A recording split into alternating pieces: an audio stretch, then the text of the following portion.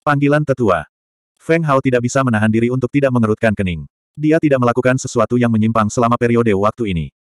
Jadi itu karena habisnya energi abadi pembuluh darah naga. Tapi Feng Hao tahu betul apa hubungannya ini dengan dia. Cepat pergi. Murid sekte dalam yang mengirim pesan berkata dengan suara rendah. Iya. Feng Hao tidak mengatakan apa-apa lagi dan mengikuti murid sekte dalam ke kediaman sesepuh sekte dalam. Awalnya, Feng Hao ingin mencoba dan melihat apakah dia bisa terbang di alam leluhur mistik, tetapi setelah beberapa pemikiran, dia menyerah pada gagasan itu. Sebenarnya, kemungkinan besar dia tahu bahwa dia seharusnya bisa melakukannya. Tingkat budidayanya saat ini mungkin berada pada tingkat Dewa Tengah. Harus dikatakan bahwa energi spiritual Vena Naga di puncak utama sangat padat, terutama karena Vena Naga itu sendiri mengandung secerca asal mula alam leluhur mistik. Feng Hao mendapat banyak manfaat dari ini. Kecepatan pemulihan kultivasinya juga sangat cepat. Namun kemudian, karena kebangkitan pohon persik abadi, Feng Hao menemukan bahwa energi spiritualnya tidak lagi sebaik sebelumnya. Raja Iblis Banteng dan Naga Iblis sama-sama mengeluhkan hal ini. Awalnya, Feng Hao berencana mencari wakil Master Sekte Cutianan untuk memahami situasinya, tetapi dia tidak menyangka Aula Tetua akan menemukannya terlebih dahulu. Di Aula Penatua, Penatua Chen Zonxian, yang bertanggung jawab atas tempat tinggal gua utama, menyesap tehnya dengan santai. Para tetua lainnya menganggur dan menunggu kedatangan Feng Hao. Wang Yunchao bisa dikatakan sebagai istri kecil yang diintimidasi, wajahnya penuh kesedihan. Hal ini membuat Song Yutang yang berada di sampingnya tidak bisa tidak mengaguminya. Adik laki-laki ini sangat kuat. Jika itu seorang wanita, mungkin tidak ada yang bisa lepas dari cengkeramannya. Siapa yang bisa menolaknya? Feng Hao telah tiba.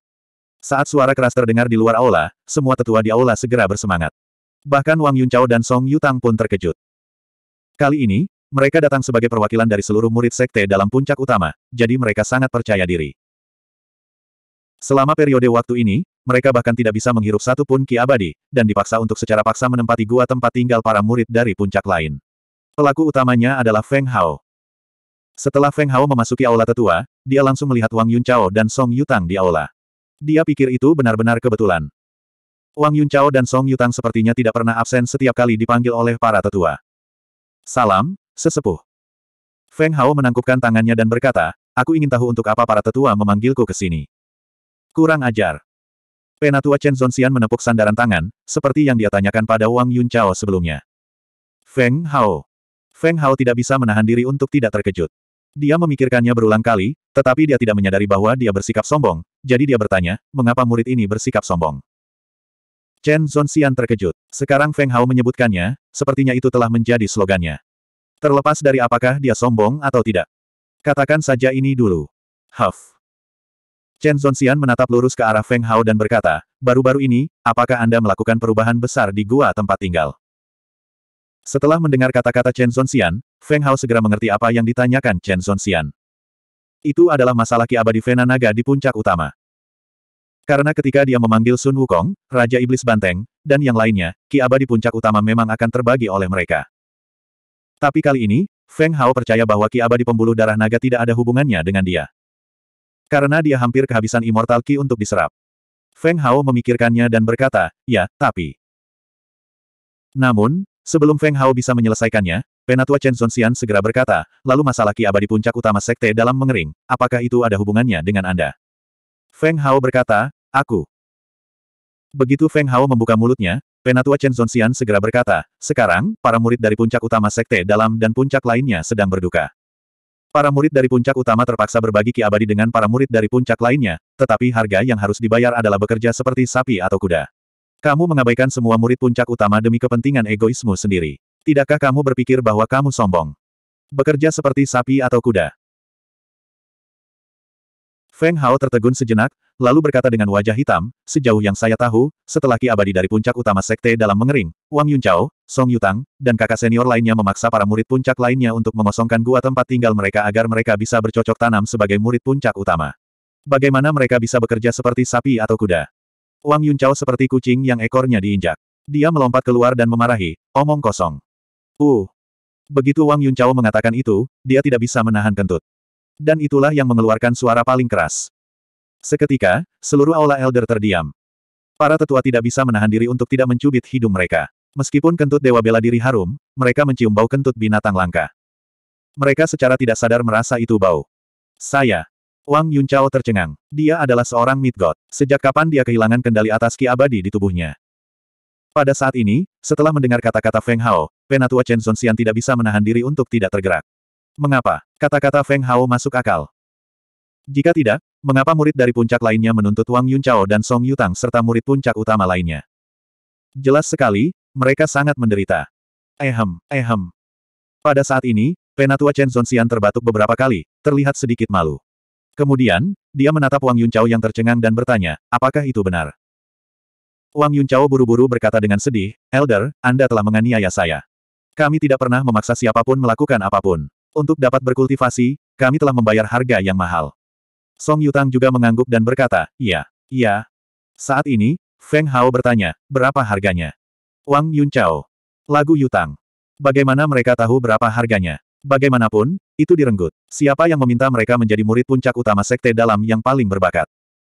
Penatua Chen Zonxian berkata, apa semuanya? Setelah menahannya untuk waktu yang lama, Wang Yunchao akhirnya berkata dengan lemah, seorang murid kehilangan kesuciannya. Bukankah itu harga yang mahal? Apa? Kata-kata Wang Yunchao mengejutkan semua orang di aula. Tetua Wang berkata dengan kaget, harganya lebih dari sekadar mahal. Semua murid sekte dalam adalah tubuh perawan.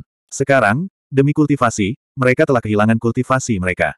Song Yutang menatap Wang Yunchao, tercengang. Beraninya dia mengatakan ini dengan lantang. Chen Zonxian memikirkannya dengan hati-hati dan berkata dengan tenang, pada akhirnya, semuanya karena Feng Hao berkultivasi di gua kebenaran.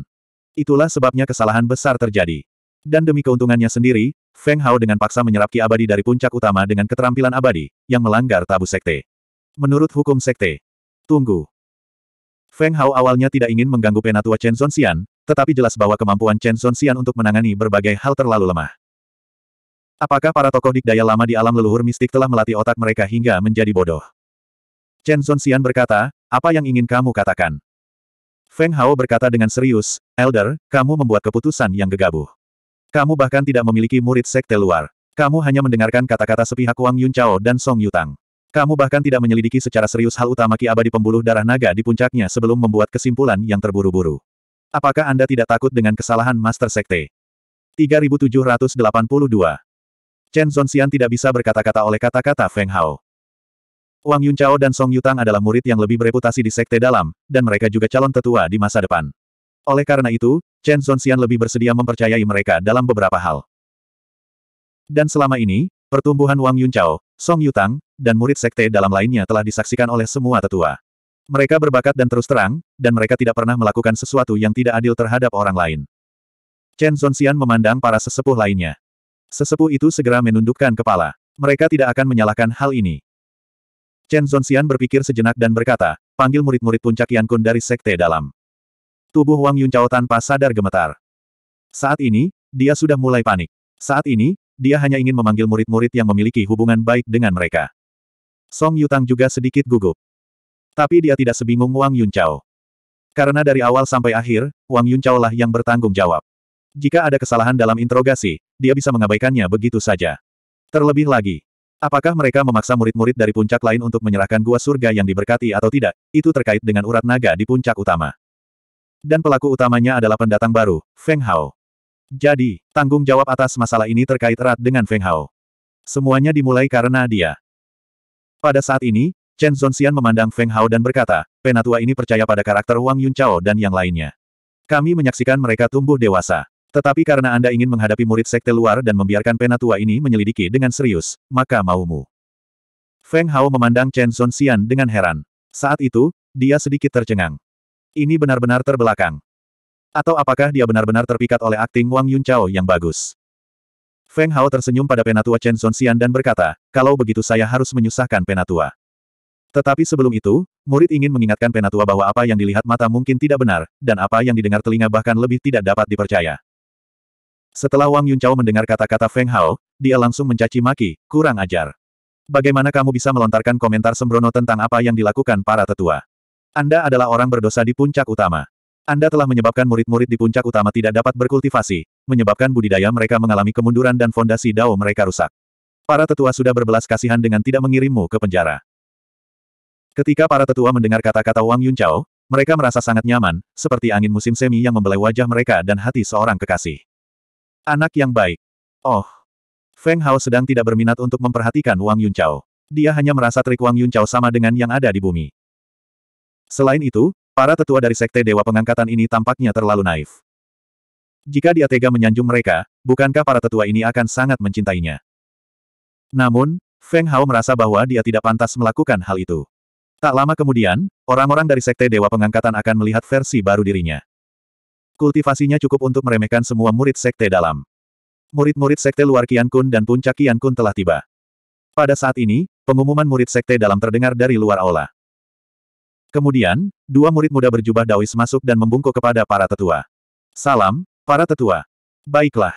Para tetua mengangguk. Penatua Chen Zonxian berkata, kalian berdua sebelumnya mengeluh kepada saya tentang murid puncak utama Sekte Dalam. Sekarang Wang Yunchao dan Song Yutang ada di sini atas nama murid puncak utama Sekte Dalam, dapatkah Anda menjelaskan situasi di depan mereka? Ini. Kedua murid puncak Kian Kun dan puncak Kian Kun tercengang. Murid puncak utama sekte dalam semuanya ada di sini. Apalagi yang bisa mereka katakan? Mengeluh tentang ketidakberdayaan dan kehinaan mereka. Mengeluh tentang perilaku mereka yang seperti binatang buas. Mengeluh tentang mereka yang menyakiti murid sekte mereka sendiri. Setelah mengeluh, karir kultivasi mereka mungkin akan berakhir. Situasi seperti ini tidak pernah terjadi di sekte Dewa Pengangkatan di masa lalu.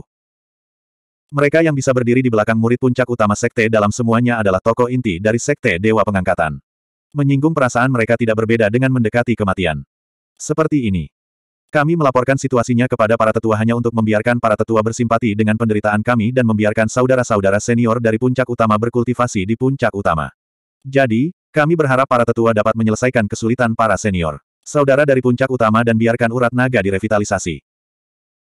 Murid berjubah Daois segera menangkupkan tangannya dan berkata, saya harap para tetua dapat membantu para murid dari puncak utama dan menangani masalah urat naga. Murid Puncak Kun yang lain juga menangkupkan tangannya dan berkata, ya, kami memiliki hubungan yang baik dengan murid-murid Puncak Utama dan tidak mengeluh sebelumnya.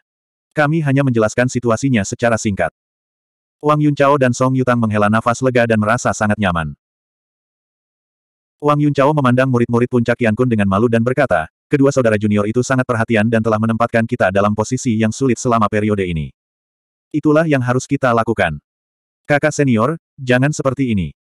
Kedua murid sekte luar buru-buru melambaikan tangan mereka dan berkata. Mereka hampir muntah melihat wajah seperti itu.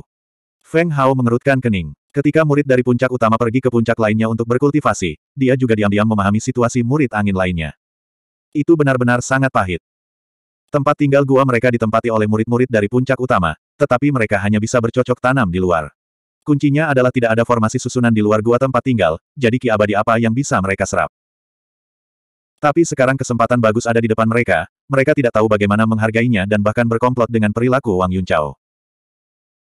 Ketika Penatua Chen Zonxian memandang Feng Hao, Feng Hao sudah berbicara lebih dulu, saudara-saudara senior, mengapa Anda berbicara bertentangan dengan hati nurani Anda? Para murid puncak Qian Kun terkejut. Siapa ini? Apakah kamu tidak takut menyinggung murid-murid puncak utama? Murid puncak Qian Kun memandang Feng Hao dan berkata, adik laki-laki ini. Feng Hao berkata, Murid yang berkultivasi di Gua Kebenaran di puncak utama, Feng Hao. Kamu adalah pendaki itu. Murid puncak Yan Kun mengamati Feng Hao dengan rasa ingin tahu, begitu pula murid puncak Kun. Sebelumnya, Sekte Dalam sedang mendiskusikan murid Sekte Dalam yang baru dipromosikan. Tingkat budidayanya tidak tinggi, dan ia naik dari alam bawah. Wakil Ketua Sekte Cutianan sangat menghormatinya. Ini adalah pertama kalinya mereka bertemu Feng Hao. Murid puncak Yan Kun menggelengkan kepalanya dan berkata, Adik laki-laki pasti bercanda, kami sudah menyentuh hati nurani kami untuk berbicara. Wang Yunchao dan Song Yutang awalnya khawatir, tetapi setelah mendengar kata-kata murid puncak Kian Kun, mereka segera menghela nafas lega. Mereka mengingat murid garda depan ini dan berencana merawatnya di masa depan. Dengan satu pandangan, mereka bisa mengembangkannya menjadi target garis keturunan mereka. Feng Hao tersenyum, dan kemudian berkata dengan serius, jika Anda ingin terus diintimidasi oleh murid-murid puncak utama, sumber daya budidaya Anda diambil secara paksa, dan rekan dao tercinta Anda diambil secara paksa, dan jangan berani berbicara meskipun Anda marah. Maka hari ini, aku hanya bisa mengatakan bahwa kamu tidak lagi layak menjadi murid sekte dalam. Kamu bahkan lebih rendah dari murid sekte luar yang menjaga wilayah sekte dewa. Kami. 3783. Saya. Anda. Ketika murid-murid puncak Yan Kun mendengar kata-kata Feng Hao, mereka tercengang, tetapi yang terjadi selanjutnya adalah penghinaan dan kemarahan. Murid puncak Yan Kun berkata dengan mata merah, bagaimana kita bisa kalah dengan murid sekte luar? Beritahu saya. Hehe. Feng Hao mencibir dan menatap murid Fang Ward. Saya baru saja menjelaskannya dengan sangat jelas. Jika Anda ingin terus seperti ini, anggap saja apa yang saya katakan tadi sebagai omong kosong. Murid Kunpik mengepalkan tinjunya, dan matanya bersinar karena tekad. Ya ampun. Murid Kunpik tiba-tiba berlutut di aula tetua dan mengangguk tanpa mengucapkan sepatah kata pun. Murid puncak Kian Kun terkejut saat melihat ini. Ini akan menolak. Adegan yang tiba-tiba ini menyebabkan semua orang di aula terkejut. Beberapa tetua mengerutkan alis mereka dengan cara yang tidak terdeteksi. Terutama Wang Yunchao dan Song Yutang yang semula lega, saat itu seperti kucing yang ekornya diinjak, bulunya berdiri. Opo-opo. Wang Yunchao memandang murid yang sedang berlutut di tanah dan mendapat firasat yang sangat buruk. Murid Kunpik kemudian menatap penatua Chen Zonxian dan berkata, jika murid ini berkata demikian, dapatkah saya mencari perlindungan? Berdengung. Kali ini, kepala Wang Yunchao dan Song Yutang berdengung. Apa yang ingin Anda katakan? Mungkinkah setelah mendengar kata-kata Feng Hao, Anda ingin salah menuduh 57 murid puncak utama Sekte Dalam? Wang Yunchao sengaja menekankan jumlah orang tertentu, dengan tujuan membuat murid puncak Kun mundur. Jika mereka masih ingin tinggal di Sekte Dalam, maka mereka harus memikirkan harga yang harus dibayar jika menyinggung para murid puncak utama. Song Yutang juga berdiri dan berkata, Tetua, jangan dengarkan orang ini. Dia telah disihir oleh Feng Hao. Pada saat ini, Penatua Wang tersenyum pada Chen Xian dan berkata, hati-hati dengan Feng Hao. Dia bahkan bisa menyulap orang seperti kita. Teknik menyihir ini pasti sangat brilian. Beberapa tetua mengangguk setuju. Masuk akal. Penatua Chen Xian tiba-tiba ragu-ragu. Di satu sisi, dia mempercayai Wang Yunchao dan para tetua lainnya. Di samping itu, penampilan para murid Gunung Kun telah menyentuh hati sanubarinya. Dia tidak tahu berapa tahun yang lalu, dia juga seorang murid sekte dalam biasa. Dia pernah diintimidasi oleh murid lain, dan ketika dia mengeluh, dia memilih untuk menyangkalnya. Jika dia tidak memilih untuk ikut bersama mereka, dia pasti tidak akan sampai sejauh ini. Namun, jauh di lubuk hatinya, dia masih merasakan rasa bersalah yang mendalam terhadap rekan-rekan muridnya yang telah dianiaya oleh mereka. Dia sedang memikirkan apa yang akan terjadi jika dia berlutut seperti murid Gunung Kun dan mengeluh tentang tirani murid-murid kaya dan berkuasa itu. Tapi itu jelas akan sangat menyedihkan. Karena saat itu siapa yang akan mendukung mereka? Elder, Anda harus berhati-hati dalam menyesatkan orang dengan kebohongan. Wang Yunchao berkata dengan gugup. Karena Chen Zonxian adalah gua tempat tinggal Sekte Dalam, dan sekarang dia terlibat dalam masalah murid puncak utama Sekte Dalam yang secara paksa menempati gua tempat tinggal murid Sekte Dalam dari puncak lain. Dia sendirilah yang mempunyai keputusan akhir dalam putusan tersebut, dan para tetua lainnya berperan sebagai pengawas. Hasil akhir dari masalah ini akan dilaporkan kepada Sekte Master. Untuk sesaat, Chen Zonxian merasa sulit mengambil keputusan. Ketika dia melihat cara murid-murid Gunung Kun memandangnya, dia merasa seperti ada pisau tajam yang menusuk jantungnya. Itu terlalu mirip. Bukankah ini mirip dengan sorot matanya saat dia ditindas saat pertama kali memasuki sekte dalam? Feng Hao merasa bahwa murid-murid Gunung Kun masih bisa diselamatkan, jadi dia berkata, katakan saja yang sebenarnya. Jika Anda bahkan tidak memiliki sedikit keberanian dan keberanian ini, bagaimana Anda bisa berbicara tentang berkultivasi melawan langit? Penggarap generasi kita, baik yang abadi maupun yang fana, semuanya berbicara tentang kata bertarung. Anda harus berjuang, dan Anda harus berjuang. Para murid Gunung Kun sangat terkejut dengan kata-kata Feng Hao.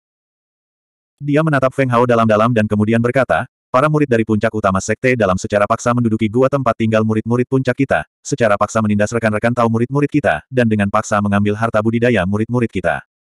Anda, Anda, Wang Yunchao dan Song Yutang terkejut, dan pupil mereka sedikit mengecil. Jelas sekali, mereka tidak menyangka murid Gunung Kun akan memperlakukan mereka seperti ini. Namun, Wang Yunchao menolak mengakuinya.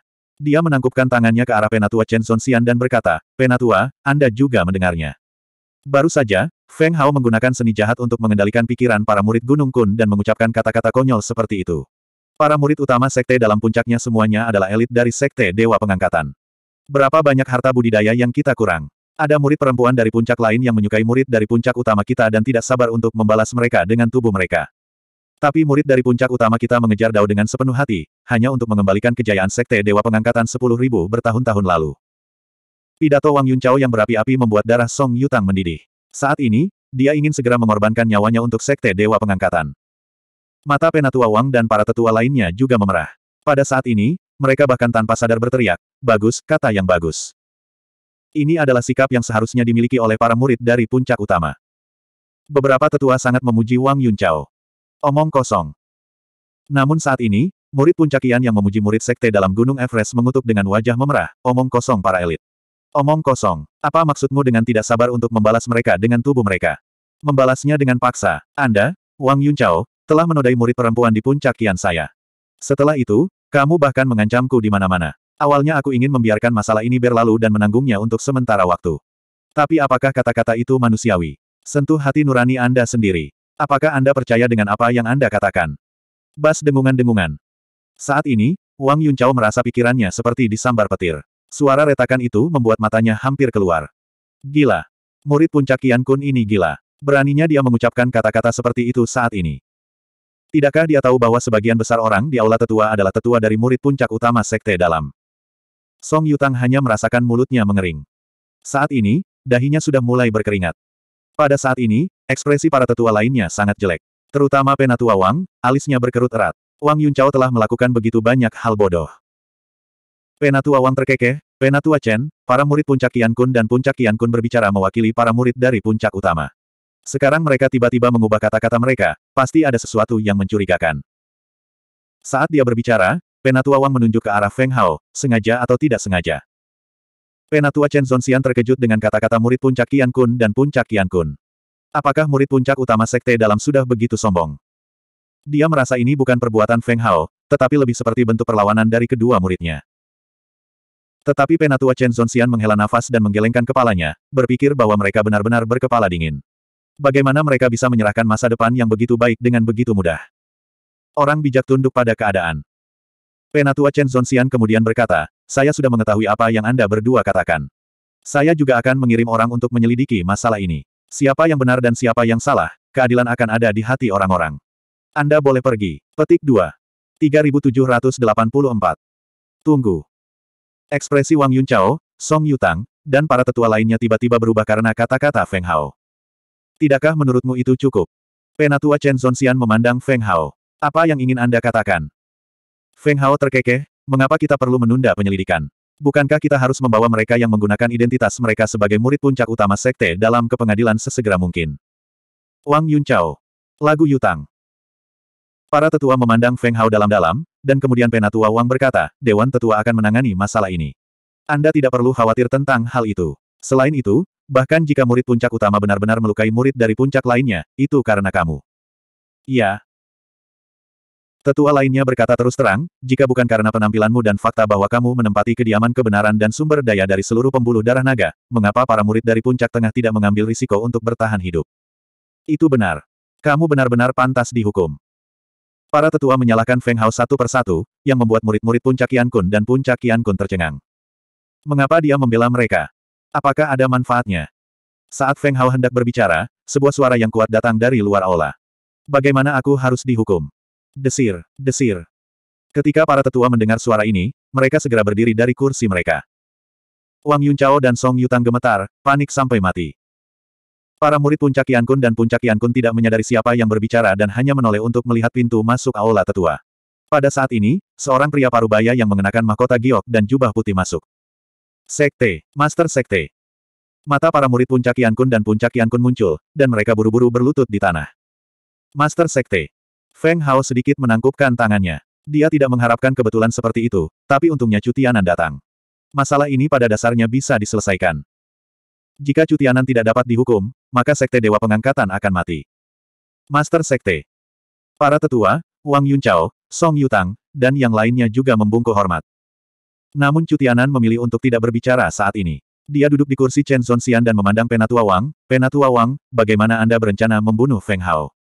Sekte guru terlalu serius. Saya baru saja menakuti generasi muda. Penatua Wang tertawa datar. Saat ini, tidak perlu menyebutkan betapa jeleknya ekspresinya. Ketakutan. Bang. Cutian Nan dengan keras menepuk sandaran tangan kursinya dan berkata dengan suara rendah, Elder Wang benar-benar mengesankan. Kamu pikir kamu bisa membuatku takut hanya karena kamu mau. Saya. Wajah Penatua Wang sangat jelek, seolah-olah dia telah menelan beberapa ribu tumpukan kotoran lalat. Bagaimana dengan saya? Master Sekte ini sudah lama berada di sini. Master Sekte ini mengingat setiap kata yang Anda ucapkan. Suasana hati Cutianan jelas sedang tidak bagus. Dia biasanya lembut dan halus, tapi sekarang dia menunjukkan ekspresi yang langka. Untuk sesaat, suasana di aula tetua menjadi sangat menindas. Para tetua tidak berani berbicara. Saat ini, mereka semua bertanya-tanya apakah mereka telah mengatakan sesuatu yang salah. Ketika mereka menyadari bahwa mereka tampaknya mempersulit Feng Hao dan melindungi Wang Yunchao dan Song Yutang. Saat itu, mereka semua merasakan hawa dingin di punggung mereka. Secara khusus, Penatua Chen Zonxian sangat menyesal. Saat ini, air mata mengalir dari matanya. Dia ingin mengatakan, dia juga dipaksa. Sangat tidak berdaya. Chu Tianan memandang Feng Hao dan berkata, apakah masalah Ki Abadi Vena Naga di puncak utama ada hubungannya denganmu? Feng Hao menggelengkan kepalanya, tidak ada hubungannya dengan itu. Bagus. Chu Tianan mengangguk, lalu berbalik untuk melihat Wang Yunchao dan Song Yutang, bertanya, apakah ada murid dari puncak utama yang secara paksa menduduki surga gua murid puncak lain dan menindas murid perempuan sekte tersebut? Saya. Wang Yunchao tergagap. Chu Tianan memarahi, bicaralah. Berdebar. Wang Yunchao berkata dengan wajah cemberut, pemimpin sekte, Siwer dan aku sedang jatuh cinta. Ini bukan intimidasi. Kami benar-benar jatuh cinta, tetapi murid-murid lain telah melanggar murid perempuan. Song Yutang berkata, Linger dan aku juga saling mencintai. Kami adalah kekasih masa kecil. Seperti murid lainnya. Haha. Chu Tianan mencibir, Wang Yunchao, pemimpin sekte ini bertanya padamu, apakah kamu tahu usia Siwer saat ini? Song Yutang, Linger kini telah berkultivasi selama 4628 tahun. Anda memiliki 3107 tahun budidaya. Apakah kamu juga kekasih masa kecil? Song Yutang tertegun dan berkata, apa? Seorang wanita tua berdandan seperti itu. Tapi begitu kata-kata itu keluar dari mulutnya, Song Yutang menyesalinya. Kepalanya hampir menyusut ke lehernya. Wang Yunchao tergagap, seharusnya berusia lebih dari seribu tahun. Omong kosong. Chu Tianan langsung memarahi. Kalimat ini membuat Wang Yunchao sangat ketakutan hingga dia terjatuh ke tanah dan kemudian menempelkan dahinya ke tanah. Semua tetua gemetar saat ini. Mereka tidak tahu sudah berapa tahun sejak mereka melihat pemimpin sekte mundur.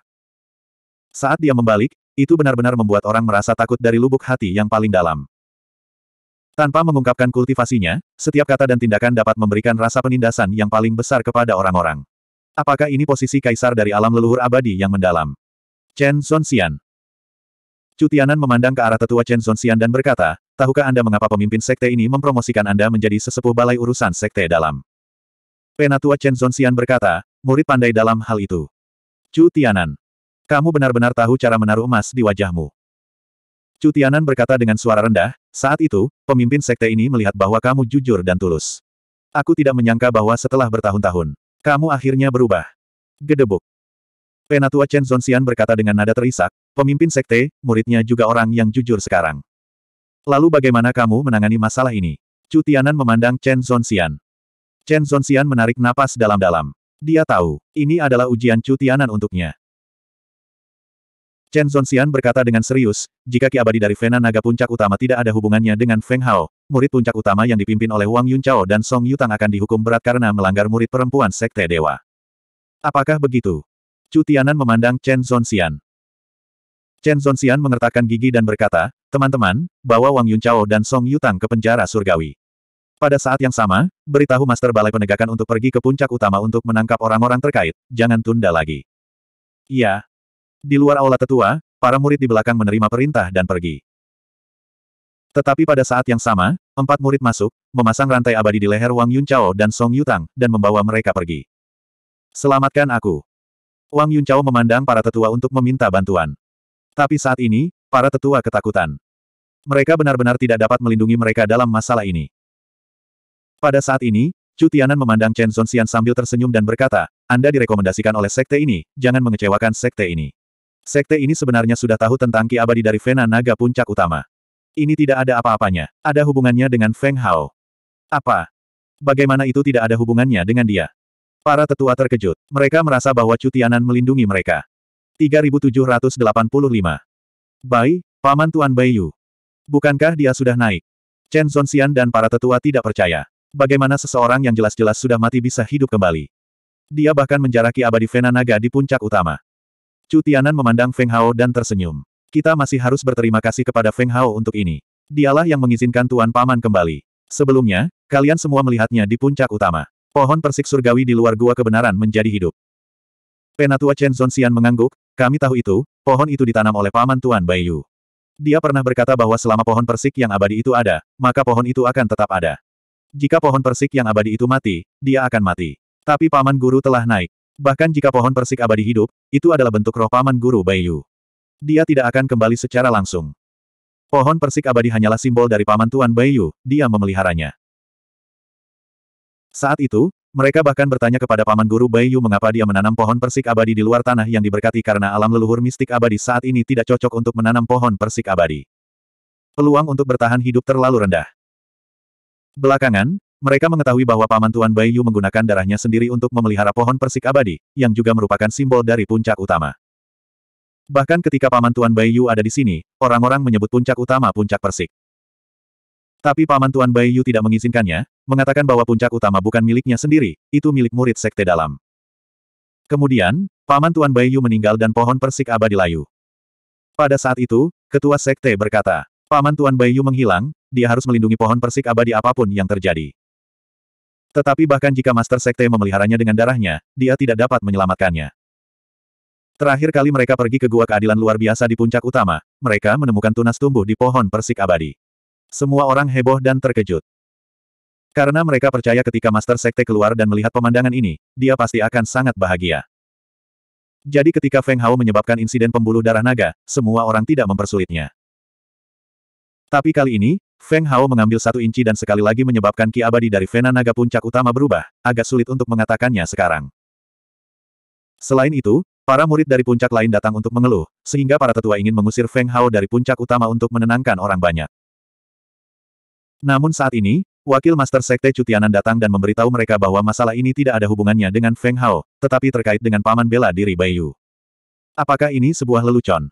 Cutianan berkata dengan serius, hal ini benar. Jika para tetua tidak mempercayai sekte ini, maka tunggulah beberapa saat. Bagaimana dengan Ki Abadi di pembuluh darah naga di puncak utama? Penatua Chen Zonxian memandang Cutianan.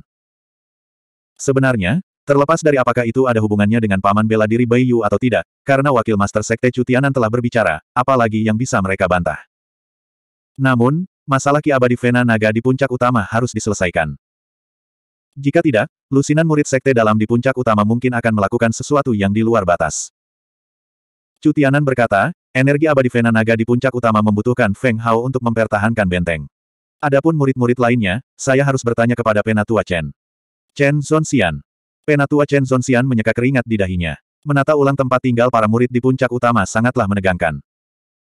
Tetapi karena dia baru saja mengecewakan Cutianan, Penatua Chen Zonxian benar-benar tidak memiliki keberanian untuk menolak masalah ini. Dia mengangguk dan berkata, orang tua ini pasti akan mengaturnya dengan benar.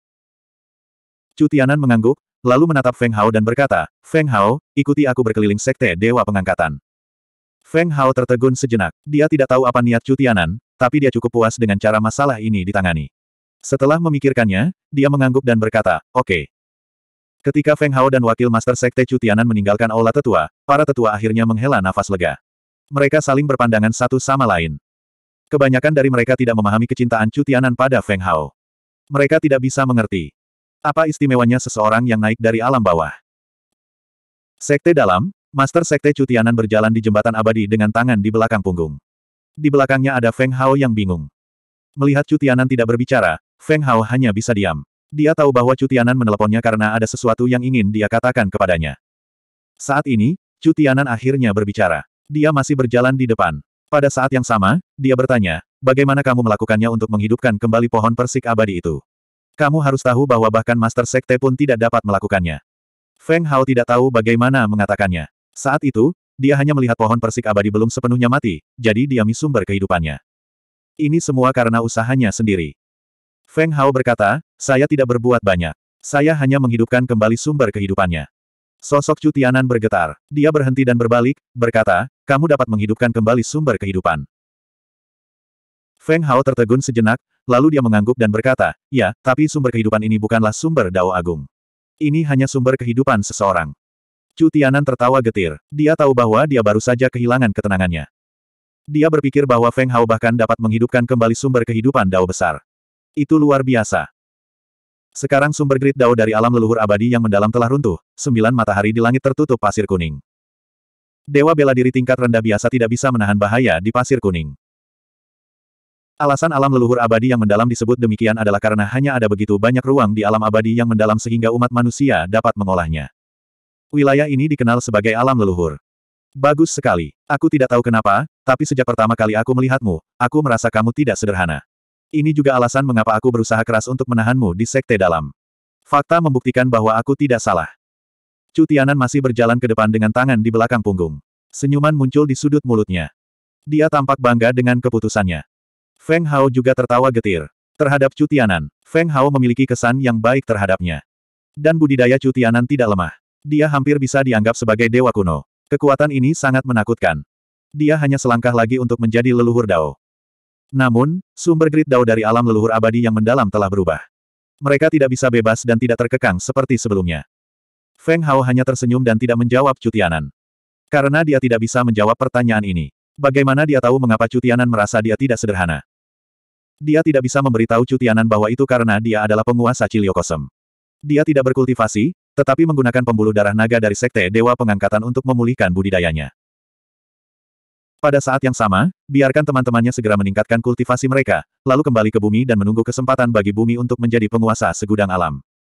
Kultivasimu berkembang sangat cepat. Tidak akan lama lagi kamu akan menjadi dewa bela diri tingkat menengah, kan?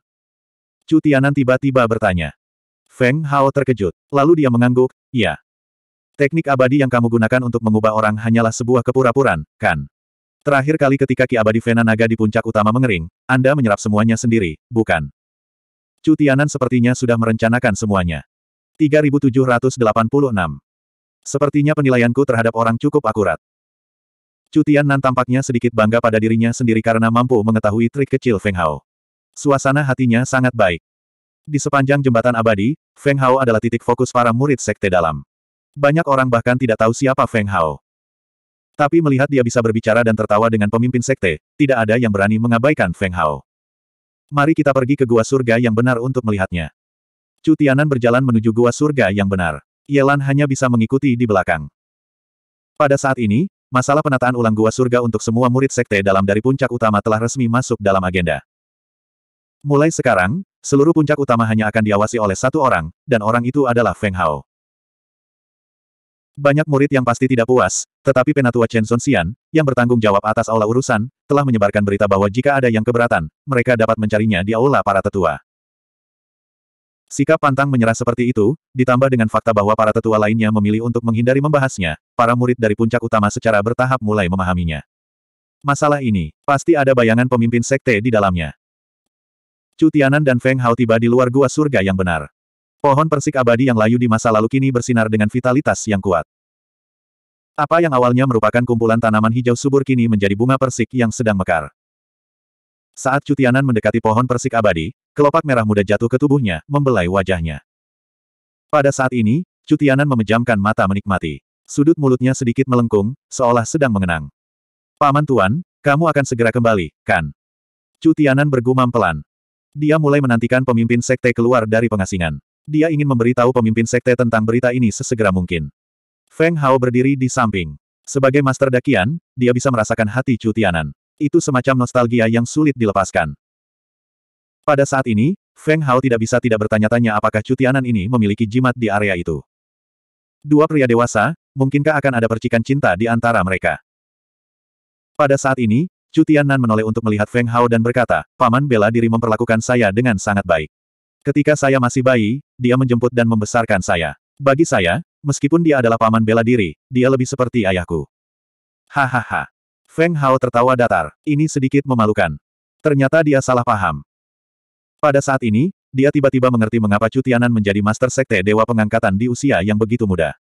Kalau dipikir-pikir, ada orang dengan kultivasi lebih tinggi dari Cutianan. Apakah karena ayah angkat Cutianan adalah paman bela diri Bayu? Kemudian, Feng Hao menatap Cutianan dengan ragu dan berkata, pemimpin sekte, menurut Anda mengapa? Jika pohon persik abadi ini hidup kembali, paman guru Anda akan kembali. Cutianan menyeringai dan dengan lembut membelai pohon persik abadi. Dia berkata, ketika paman guru pergi, dia berkata bahwa jika dia tidak kembali, pohon persik abadi ini akan layu. Tetapi jika suatu hari pohon persik abadi hidup kembali, maka kita harus menunggunya. Cutianan menoleh untuk melihat Feng Hao dan berkata, jadi saya yakin paman guru pasti akan kembali. Terima kasih, Feng Hao. Feng Hao tersenyum. Ketika dia pertama kali datang ke Gua Keadilan Luar Biasa, itu adalah tindakan yang tidak disengaja. Dia tidak berharap untuk menerima kebaikan terbesar dari wakil Master Sekte Dewa Pengangkatan. Harus dikatakan, ini benar-benar suatu kebetulan. Pada saat yang sama, Feng Hao merasa bahwa dia harus memberitahu Cutianan sesuatu dan berkata, Sekte, bisakah Anda mengizinkan saya memilih tempat baru? Petik dua tanda tanya tanda tanya tanda tanya petik dua. Cutianan mengerutkan kening. Mengapa kamu ingin berpindah tempat? Feng Hao tersenyum pahit dan berkata, pemimpin sekte mengatakan bahwa aura abadi Vena Naga di puncak utama telah mengering karena pohon persik abadi. Seperti yang dikatakan pemimpin sekte, saya tidak dapat menyerap aura abadi Vena Naga lagi. Chu Tianan. Chu Tianan memikirkannya dan menggelengkan kepalanya. Kamu belum bisa pergi. Feng Hao tercengang. Chu Tianan melanjutkan, karena saya ingin Anda merawat pohon persik abadi. Ketika Paman Guru kembali, saya akan memberi Anda kesempatan besar. Feng Hao tertegun sejenak dan bertanya, seberapa besar? Chu Tianan. Sudut mulut Chu Tianan bergerak-gerak. Dia memberi isyarat dengan tangannya dan berkata, sekitar. Sebesar ini. Seberapa besar ini? Feng Hao bertanya. Chu Tianan tercengang saat mendengar kata-kata Feng Hao. Dia belum memikirkan kesempatan seperti apa yang harus diberikan kepada Feng Hao. Tapi bukankah dia biasanya mengatakan itu ketika dia membuat janji kepada murid-murid itu? Itu hanya untuk pertunjukan. Adapun apa itu, itu tergantung pada situasinya. Bagaimanapun, sebagai Master Sekte, dia tidak bisa memberikan jaminan sembarangan. Jika dia tidak bisa memberikan kesempatan besar yang dijanjikan, bukankah itu akan membuat para murid Sekte Dewa Pengangkatan kehilangan kepercayaan mereka? Kalau begitu aku khawatir aku tidak bisa berkultivasi di puncak utama ini. Feng Hao memasang ekspresi tak berdaya di wajahnya. Tidak masalah apakah dia berkultivasi atau tidak. Kuncinya adalah Sun Wukong dan Ju Yi harus berkultivasi. Dia berpikir apakah dia harus meninggalkan Sekte Dewa Pengangkatan dan mencari tempat dengan ki abadi yang lumayan untuk diolah. Namun saat ini, Chu Tiannan mengeluarkan sebuah cincin dari lengan bajunya yang lebar dan melemparkannya ke Feng Hao, sambil berkata, kamu telah bekerja keras selama jangka waktu ini. Sumber daya dalam cincin spasial ini cukup untuk kamu kembangkan selama tiga tahun. Bulan. Ketika Chu Tiannan melihat Feng Hao menerima cincin spasial seolah-olah itu adalah hal yang biasa, dia merasakan dadanya sakit. Tapi tidak ada jalan lain.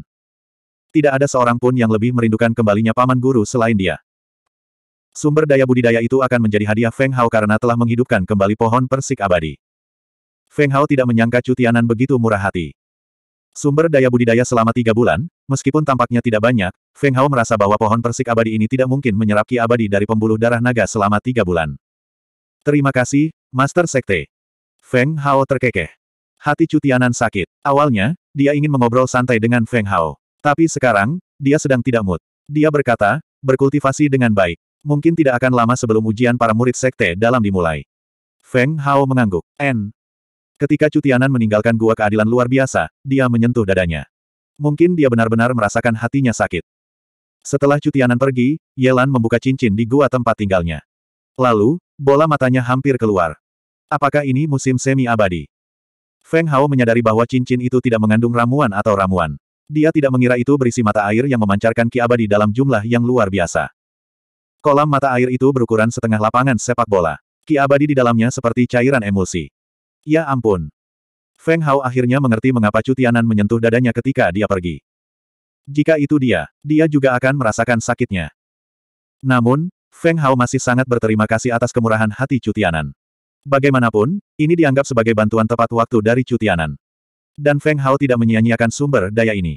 Dia langsung mengalihkan sekitar sepertiga dari mata air abadi ke kolam air panas di gua tempat tinggalnya.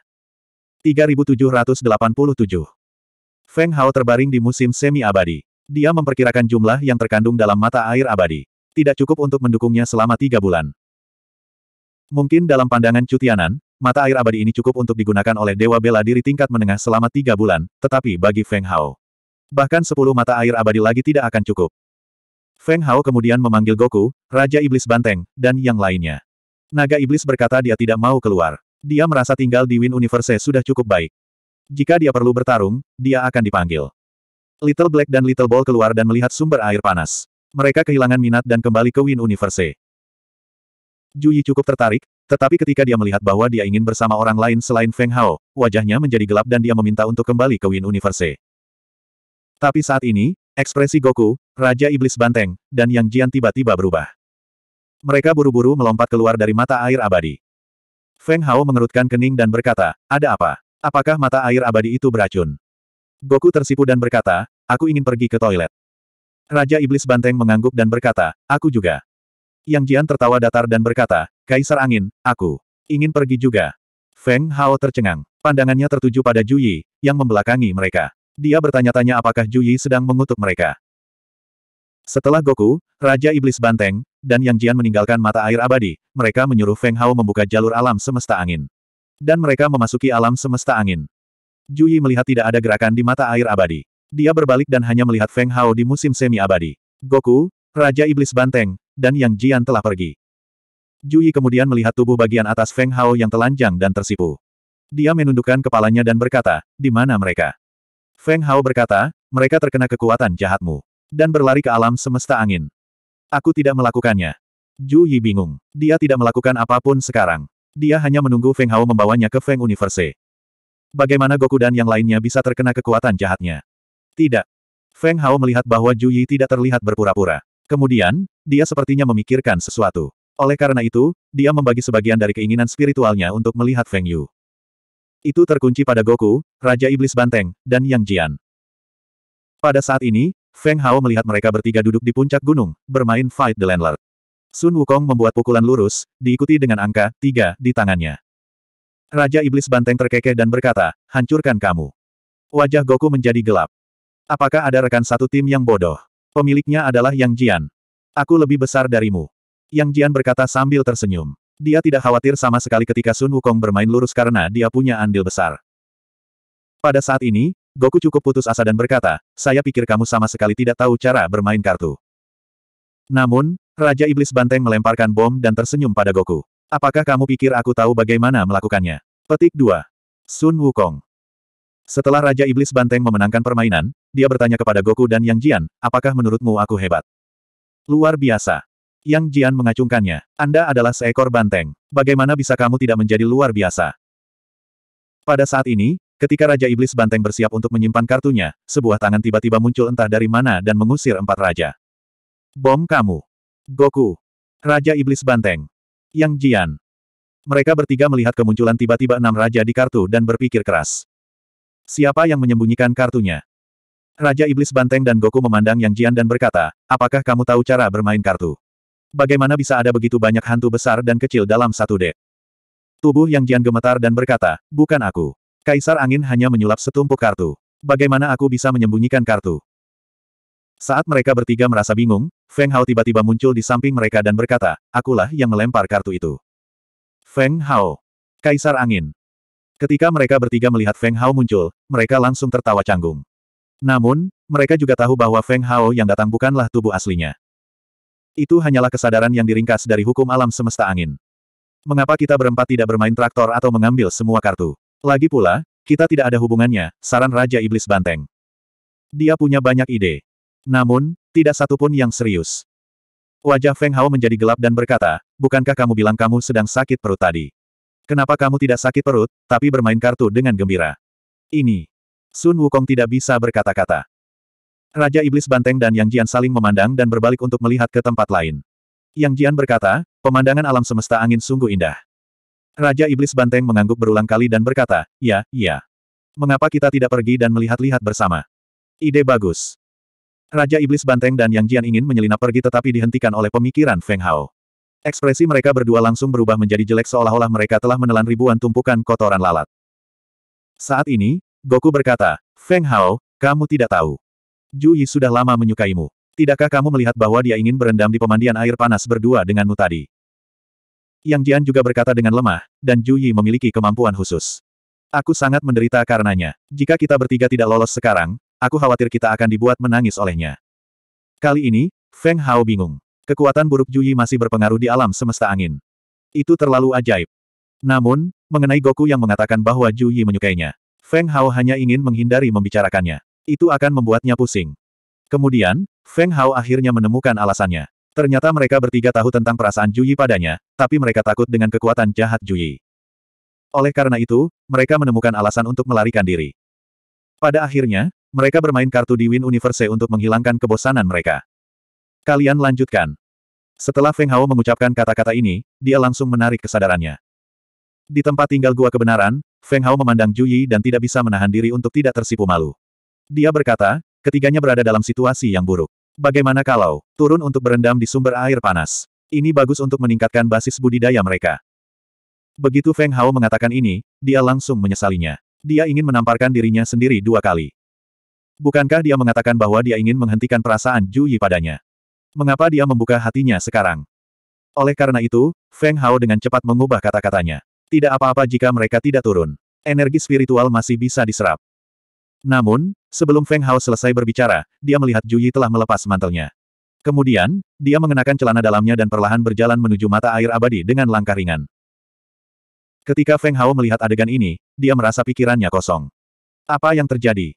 Harus dikatakan bahwa sosok Ju Yi sangat bagus. Dia juga peri dari dunia abadi emas. Itu bukanlah sesuatu yang bisa dibandingkan dengan wanita di dunia fana. Ju Yi tersipu dan berenang menuju Feng Hao. Hati Feng Hao ada di tenggorokannya. Jangan lakukan ini. 3788. Bagaimana saya bisa melihatnya? Ketika Feng Hao mendengar kata-kata Ju Yi, mulutnya bergerak-gerak. Anda sudah di sini, bagaimana dia bisa melihatnya? Tentu saja, dia bersandar pada mata air abadi dan melihat dengan matanya. Tubuh Ju Yi memiliki wangi yang khas. Feng Hao mengangkat alisnya. Dia tidak bisa mencium baunya saat Ju Yi mengenakan pakaian, tapi sekarang setelah dia melepas mantelnya, aromanya langsung datang. Ada sesuatu yang memabukkan pada wewangian ini.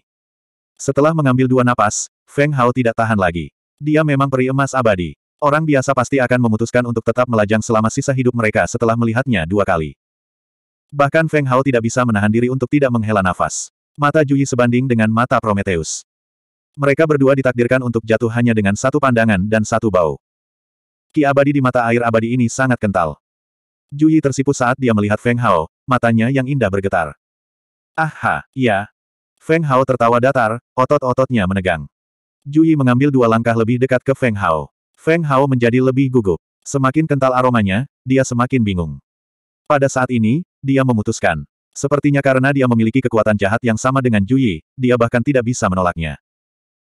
Seolah-olah keduanya adalah magnet, yang terus-menerus menutup jarak di antara keduanya. Jika kita terlalu dekat, tidak akan mudah untuk berkultivasi. Feng Hao berkata dengan mulut kering dan senyum pahit di wajahnya. Juyi tertegun sejenak. Dia menggigit bibirnya dan menjauh dua langkah. Tapi justru dua langkah inilah yang menyebabkan secercah rasa kehilangan muncul di hati Feng Hao tanpa alasan atau alasan, dan seolah-olah dia secara pribadi telah menyingkirkan sesuatu yang penting. Dia tahu, ini pasti perbuatan kekuatan jahat. Karena dia adalah pria yang berkeluarga, dia adalah pria yang berbakti. Tentu saja, pengabdian semacam ini tidak terbatas pada satu orang saja. Dia akan memperlakukan orang yang benar-benar dia cintai dengan sepenuh hati. Tidak ada yang bisa dia lakukan mengenai hal itu. Sebagai penguasa cabai kosmos, hatinya dapat menampung seluruh cabai kosmos. Jadi mengapa dia tidak bisa menampung beberapa orang yang dia cintai? Ini juga sebabnya dia selalu dikelilingi oleh wanita cantik. Selama dia benar-benar mencintai seseorang, dia tidak akan pernah meninggalkannya. Hatinya tidak pernah berubah. Feng Hao memikirkannya dan berkata, sebenarnya, mendekat juga merupakan semacam kultivasi. Batuk, batuk. Feng Hao tersedak oleh kata-katanya sendiri, dan wajahnya langsung memerah. Ju Yi tersenyum seperti bunga. Dia memandang Feng Hao dan berkata, jangan khawatir, aku tidak akan bertarung dengan mereka untukmu. Ah! Feng Hao tercengang. Ju Yi tersenyum dan berkata, baru saja, aku melihat banyak gadis di matamu. Aku juga melihat perasaanmu terhadap mereka. Mereka sangat bahagia. Aku sangat iri. Feng Hao menatap kosong ke arah Ju Yi. Dia memiliki kemampuan yang menakutkan. Kenapa dia tidak menyadarinya sebelumnya? Mereka tidak bahagia. Feng Hao menggelengkan kepalanya, dan alisnya dipenuhi ketidakberdayaan. Dia memandangi mata air surgawi yang tembus cahaya di depannya dan dengan lembut berkata, mereka dipisahkan dariku oleh dua dunia, dan hari di mana kita bertemu sepertinya masih jauh di masa depan yang tidak terbatas. Kalau dipikir-pikir, mereka tidak bahagia, dan aku juga sangat bersalah. Aku hanya berharap suatu hari nanti, aku bisa bersatu kembali dengan mereka. Aku tidak peduli dengan apa pun Dao. Ekspresi Feng Hao menjadi agak sedih tanpa alasan. Dia tersenyum pahit dan berkata, dalam kehidupan ini, saya, Feng Hao, berhutang terlalu banyak kepada mereka. Saya pernah berpikir bahwa ketika saya mencapai akhir dao surgawi, saya akan bahagia. Siapa yang tahu bahwa itu akan sangat jauh. Wajah-wajah cantik muncul di benak Feng Hao. Dia pernah mengalami tawa dan air mata. Saat ini, dia sangat ingin kembali ke alam semesta. Saat ini, kepala Juyi tiba-tiba bersandar di bahu Yelan. Aroma memasuki hidungnya. Seluruh tubuh Feng Hao bergetar, dan bahkan air di mata air abadi pun beriak. Jangan gugup, aku tidak meminta untuk bersamamu selamanya. Saat ini, bisakah kamu membiarkan aku bersandar di bahumu seperti ini? Suara Juyi sangat lembut dan manis. Feng Hao tersenyum pahit dan mengangguk. Baiklah. Terima kasih. Gadis bodoh. Feng Hao menutup matanya dan membiarkan ki abadi di mata air abadi memasuki tubuhnya.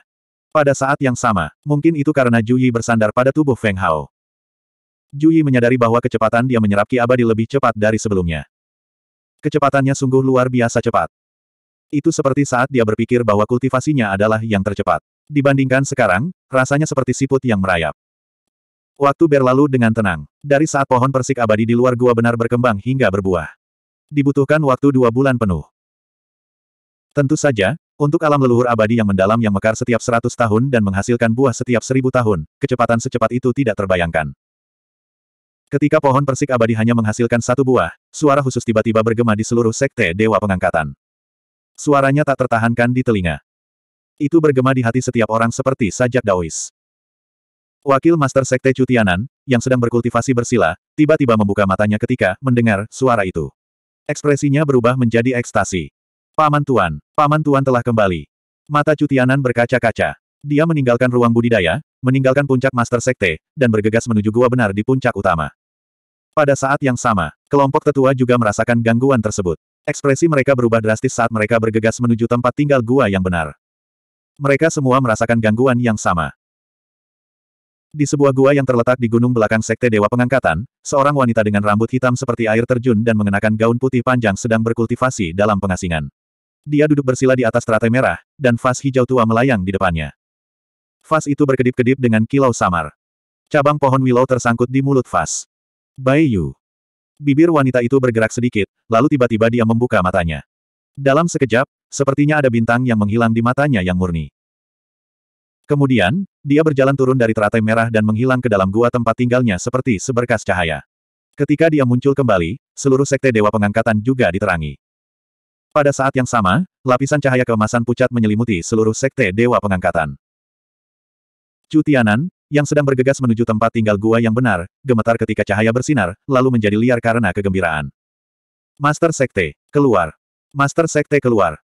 Pada saat ini, seluruh murid Sekte dalam dan luar Sekte Dewa Levitasi menyebarkan berita tersebut. Semua orang tenggelam dalam kegembiraan. Para sesepuh tertinggi dan berbagai utusan juga meninggalkan gua tempat tinggalnya dan menuju ke tempat di mana cahaya bersinar. Di situlah gua tempat tinggal yang benar berada di puncak utama. Pada saat ini, Feng Hao dan Ju Yi sedang berkultivasi di kolam mata air abadi dengan mata tertutup. Dalam sekejap mata, dua bulan telah berlalu. Pada saat ini, kolam mata air abadi telah mengering. Ketika Feng Hao membuka matanya dan melihat Ju Yi yang setengah telanjang di sampingnya, dia tercengang. 3789. Terima kasih. Ju Yi tersipu, tapi ada sedikit kekecewaan di matanya. Feng Hao tersenyum. Tidak perlu bersikap sopan. Bagaimana kamu berkultivasi selama dua bulan ini? Mem. Ju Yi sedikit malu. Bagaimanapun, dia telah berkultivasi di sisi Feng Hao selama dua bulan terakhir. Perasaan itu membuat hatinya mati rasa. Tapi Feng Hao bodoh. Saat ini, Feng Hao dan Ju Yi merasakan perubahan di luar tanah yang diberkati. Aura menakjubkan itu seakan turun dari langit, langsung muncul di luar gua tempat tinggalnya. Ayo pergi. Tanpa berkata apa-apa lagi, Feng Hao menggunakan token itu untuk membuka pintu gua tempat tinggalnya. Saat ini, sudah ada dua sosok berdiri di bawah pohon persik abadi di luar gua tempat tinggal. Dan di jembatan abadi, ada sekelompok orang berdiri di sana. Wajah mereka dipenuhi keterkejutan dan keterkejutan, namun mereka tidak berani mendekat. Feng Hao menemukan bahwa salah satu dari dua sosok di bawah pohon persik abadi adalah sosok yang sangat familiar. Itu adalah wakil ketua sekte Cutianan. Dan wanita dengan rambut hitam seperti air terjun di samping Cutianan, mengenakan gaun putih panjang, sangatlah asing. Lebih penting lagi, wanita itu sedang menyeret botol harta karun di tangannya. Hal ini membuat kulit kepala Feng Hao mati rasa. Karena kemunculan wanita ini dengan mudah membuatnya teringat pada karakter mitos dari Huaxia di bumi, karakter hebat dari sistem mitos yang sama dengan Sun Wukong dan Raja Iblis Banteng. Tapi melihat lebih dekat. Namun berbeda. Itu hanya mungkin, suatu kebetulan. Cutianan menatap pohon persik abadi yang sedang mekar. Satu-satunya buah persik di pohon itu telah membentuk bentuk manusia. Dan ketika Cutianan melihat buah persik itu, bahunya tanpa sadar bergerak-gerak, dan matanya merah. Paman bela diri. Gumam Cutianan. Dan wanita berambut hitam di sampingnya juga memiliki emosi yang tak terlukiskan. Dia menatap dengan bingung ke buah persik berbentuk manusia. Dia mengambil dua langkah ke depan, mencoba menyentuhnya. Tapi Cutianan berkata dengan lembut, tidak. Wanita itu segera berhenti dan menatap Cutianan dengan bingung. Kemudian, senyuman pahit muncul di sudut mulutnya dan dia berkata dengan lembut, tahun-tahun ini. Kamu telah berkembang pesat. Cutianan menoleh untuk melihat wanita itu, lalu membungkuk dan berkata, murid tidak berani melanggar instruksi guru sekte. Jika saya tidak tumbuh dewasa, bagaimana saya bisa bertemu dengan guru sekte dan paman bela diri di masa depan? Anak bodoh. Wanita itu menggelengkan kepalanya dengan getir. Menguasai. Pemimpin sekte. Pada saat ini, para tetua, utusan Aula, dan tetua agung mengumpulkan keberanian mereka dan membungkuk dengan tangan terkepal di depan mereka. Wanita itu berbalik untuk melihat wajah-wajah yang dikenalnya itu. Pada akhirnya, pandangannya tertuju pada beberapa pria tua berambut putih. Dia terkekeh dan berkata, Tetua Agung, kalian semua sudah tua.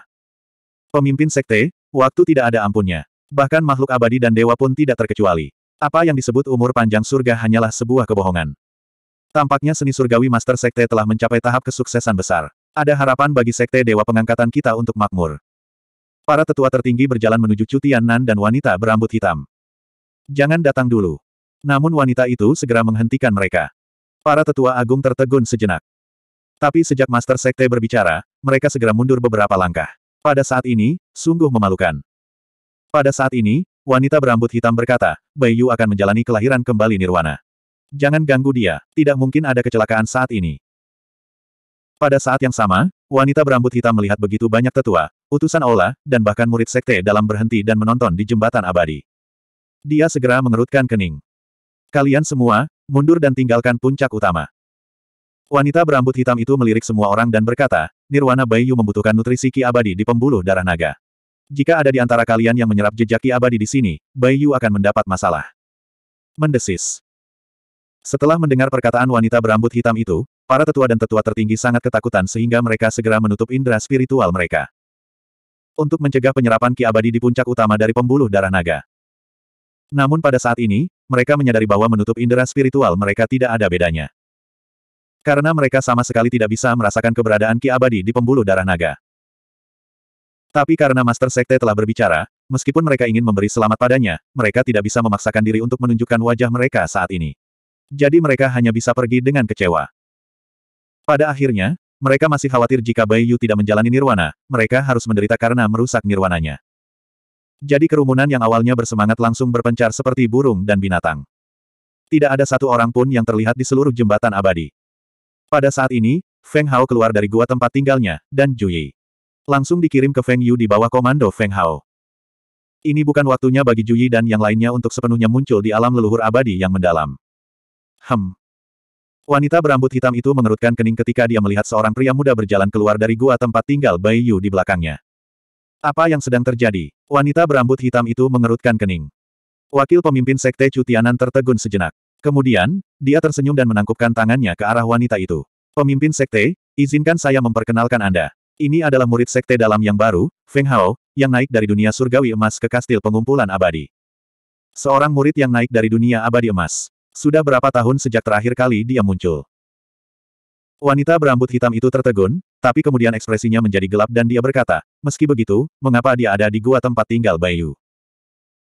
Cutian Nan tahu bahwa wanita berambut hitam itu mungkin salah paham terhadap Feng Hao, jadi dia segera berkata, Master Sekte, harap tenang. Alasan mengapa Paman Master Bai Yu bisa menjalani nirwana adalah karena dia. Apa? Tubuh wanita berambut hitam itu bergetar tanpa sadar, hingga dia hampir menjatuhkan vas di tangannya. Pikirannya sudah terguncang. Kenapa dia? Bagaimana dia melakukannya? Wanita berambut hitam itu terkejut. Cutianan berkata, mungkin itu semacam takdir, atau mungkin itu petunjuk takdir. Feng Hao secara tidak sengaja memilih gua tempat tinggal paman guru, tetapi ketika dia pertama kali datang ke sini, dia melihat pohon persik abadi layu, jadi dia menggunakan sebuah teknik abadi untuk menghidupkannya kembali. Jadi, Paman Guru memiliki kesempatan untuk kembali. Cutian Nan sangat mengagumi Feng Hao, dan bahkan berterima kasih atas tindakan Feng Hao yang tidak disengaja, jadi dia harus membela Feng Hao sekarang. Apalagi apa yang dikatakannya adalah kebenaran.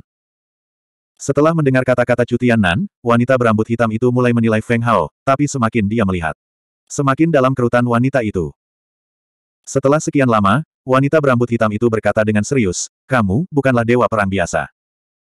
Setelah mendengar kata-kata wanita berambut hitam itu, Feng Hao tidak bisa menahan diri untuk tidak terkejut. Tapi, dia secara kasar bisa melihat kultivasi wanita berambut hitam itu, yang mendekati setengah langkah dao leluhur. Sangat menakutkan. Dia ingin melihat keunikannya, dan Feng Hao merasa, itu tidak sulit. 3790. Bukan dewa bela diri biasa. Wakil pemimpin Sekte Cutianan terkejut. Dia juga merasa bahwa Feng Hao tidak biasa, tetapi dia merasa itu karena Feng Hao adalah seorang ascender. Tetapi jika pemimpin Sekte yang mengatakannya, artinya sangat berbeda. Feng Hao tersenyum pada wanita berambut hitam itu, bagaimana ini tidak biasa. Wanita berambut hitam itu mengerutkan kening, kamu memiliki aura asal-usul Dao. Apa? Cutianan melompat kaget. Dia telah berkultivasi selama bertahun-tahun dan meskipun dia adalah wakil pemimpin Sekte Dewa Pengangkatan, dia masih belum menyentuh ambang asal Dao. Namun pemimpin Sekte mengatakan bahwa Feng Hao memiliki aura asal-usul Dao. Itu sangat menakutkan. Haha. Wanita berambut hitam itu tiba-tiba tertawa dan menatap Cutianan, mengapa kamu begitu terkejut? Yang saya maksud adalah, dia memiliki aura asal-usul Dao di alam abadi emas. Saya tidak mengatakan dia memilih alam leluhur. Suara mendesing. Pemimpin Sekte, kamu membuatku takut setengah mati. Chu Tianan menghela nafas lega dan menyeka keringat di dahinya. Dia mengira Feng Hao sangat luar biasa. Tapi sekali lagi, jika Feng Hao telah menguasai aura asal-usul Dao, bukankah dia akan lebih kuat darinya? Wanita berambut hitam itu menatap Feng Hao dalam-dalam dan berkata, kamu naik dari dunia abadi emas. Secara logika, asal-usul Grand Dao seharusnya menghilang, tetapi kamu membawanya ke alam leluhur abadi yang mendalam. Saya harus mengatakan, kamu sungguh penasaran. Wanita berambut hitam itu kemudian tersenyum dan melanjutkan, tetapi tidak peduli apa pun yang terjadi, kamu telah menghidupkan kembali saudara muda Bayu dan melakukan bantuan pada Sekte Dewa Pengangkatan. Aku tidak akan menghukummu dengan menduduki tanah berkahnya. Pada saat yang sama, aku bisa mengabulkan permintaanmu. Chu Tianan tidak bisa menahan diri untuk tidak tergerak ketika dia mendengar kata-kata wanita berambut hitam itu. Ini adalah kesempatan yang diberikan oleh surga. Dia mengatakan bahwa jika Paman Tuan Bayu kembali, dia akan memberi Feng Hao kesempatan besar. Dia pikir itu adalah hal yang sangat bagus. Dia tidak berharap pemimpin sekte menjadi lebih murah hati. Feng Hao berpikir sejenak, lalu menatap wanita berambut hitam itu dan bertanya, ada keinginan. Wanita berambut hitam itu terkejut sesaat. Kemudian, dia berkata dengan serius, terlepas dari keinginan yang tidak bermoral dan mustahil, semuanya baik-baik saja. Misalnya, puncak utama sekte dalam akan menjadi tempat saya berkultivasi sendiri mulai sekarang.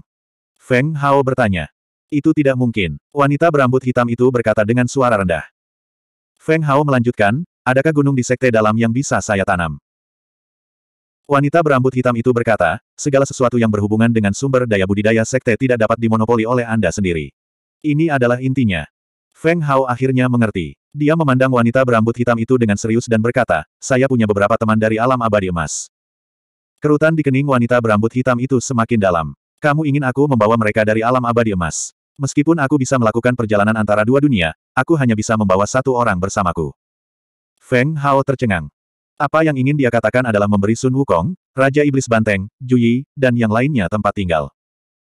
Dia tidak pernah berpikir untuk membiarkan wanita berambut hitam membawa orang-orang dari alam abadi emas. Namun, Feng Hao juga tahu betapa menakutkannya wanita berambut hitam itu dari kata-katanya. Untuk dapat melakukan perjalanan antara dua dunia, kekuatan ini sungguh menakutkan. Benar saja, dia adalah manusia serigala dengan setengah kaki di alam dao leluhur. Feng Hao membungkuk dan berkata, murid tidak memerlukan bantuan guru sekte untuk membawa orang-orang dari alam abadi emas. Murid berharap guru sekte dapat memberikan tempat tinggal kepada teman muridnya. Wanita berambut hitam itu mengerutkan kening. Apa maksudmu? Dia tidak begitu mengerti kata-kata Feng Hao. Kemudian, dia memikirkannya dan bertanya, sahabat yang naik bersamamu. Cutianan berkata, hanya Feng Hao yang naik dari kastil pengumpulan abadi. Jika teman-temannya naik, akan ada sekte dewa lain yang akan menjaga mereka. Wanita berambut hitam itu berkata dengan marah, jika ada yang ingin kamu katakan, katakan saja. Chu Tianan. Feng Hao. Feng Hao tidak menyangka wanita berambut hitam itu tiba-tiba mengucapkan kata-kata vulgar seperti itu. Dia benar-benar tercengang. Feng Hao tidak bertele-tele. Dia menangkupkan tangannya dan berkata, ketika muridku naik, aku menggunakan teknik abadi untuk membawa beberapa teman bersamaku. Namun, tubuhku tidak melalui pemurnian sumber alam abadi leluhur mistik. Aku mungkin akan dihukum oleh surga. Murid menginginkan bantuan sekte guru. Anda. Ketika Cutianan mendengar kata-kata Feng Hao, bola matanya muncul. Dia berkata dengan kaget, teknik abadi yang dapat mengubah manusia menjadi makhluk hidup. Feng Hao memandang Cutianan dan berkata sambil tersenyum pahit, sebenarnya, mereka tidak diubah oleh murid. Mereka benar-benar ada. Master Sekte, tolong jangan salahkan saya. Cutianan terdiam beberapa saat. Kemudian, dia menghela nafas dan berkata, jika kamu tidak menghidupkan kembali Paman Tuan Bayu, aku pasti akan menghukummu. Wanita berambut hitam itu sangat penasaran dan berkata, kamu meminta mereka keluar. Iya. Feng Hao tahu bahwa jika dia ingin Goku, Raja Banteng, dan yang lainnya beralih dari penumpang gelap menjadi dewa bela diri dari alam abadi leluhur mistik, itu adalah kesempatan yang sangat bagus untuk mencari bantuan wanita berambut hitam. Bagaimanapun, dia sudah menjadi setengah dao leluhur. Hal itu sepenuhnya bisa dicapai. Karena dia memahami kekuatan sumber dao besar. Cutianan tidak memiliki kemampuan ini, jadi Feng Hao tidak menyebutkannya. Sekarang wanita berambut hitam mengatakan dia bersedia memenuhi keinginan kecilnya. Feng Hao memikirkannya. Itu adalah membiarkan semua orang menghapus kepolosan mereka. Mereka tidak hanya tahu cara bermain kartu, melawan tuan tanah, dan bermain mahjong di alam semesta angin. Sambil berpikir, Feng Hao langsung memanggil Goku, Yang Jian, Raja Banteng, Juyi, Naga Iblis, dan Hitam Kecil. Ketika dia keluar, Goku, Yang Jian, dan Bull King berperan sebagai tuan tanah. Ketiganya tidak bereaksi. Bull King langsung membuang empat angka, tiga, dan menanganinya. Sial. Luar biasa, aku rajanya. Goku kemudian mengusir hantu besar dan kecil itu, sepertinya dia akan memakan Raja Banteng. Tapi saat ini, Yang Jian menyebarkan kartunya dan berkata dengan lemah, Saudara monyet, lihat. Ada hantu besar di tanganku. F. Cek, kamu curang. Raja Banteng tahu bahwa Goku curang dan sangat marah hingga dia hampir memukulnya. Feng Hao menatap pemandangan ini dengan mulut ternganga. Saat itu, dia merasakan suara mendengung di kepalanya, lalu dia batuk beberapa kali. Feng Hao. Saat itulah semua orang bereaksi. Kemudian, mereka memandang Cutianan dan wanita berambut hitam dengan kaget. Terutama Goku dan Bull King, mereka melompat kaget. Bodhisattva. Cutianan pernah melihat Goku dan yang lainnya sebelumnya. Saat ini, dia berkata, mengapa kamu tidak menyapa ketua sekte? Dulu saya mengira Anda diciptakan oleh Feng Hao. Saya tidak berharap Anda menjadi orang sungguhan. Wanita berambut hitam itu melambaikan tangannya dan berkata, saya bukan bodhisattva. Cailian adalah nama umum saya. Apa yang baru saja kamu lakukan? Kamu terlihat sangat menarik. Feng Hao. Saat ini, Feng Hao sedikit bingung. Apakah Master Sekte dari Sekte Dewa Levitasi akan jatuh ke tangan poker? Kalau tidak, kenapa dia tidak bertanya padanya teknik abadi apa yang membawa orang-orang ini ke sini, tapi apa yang Goku dan yang lainnya mainkan?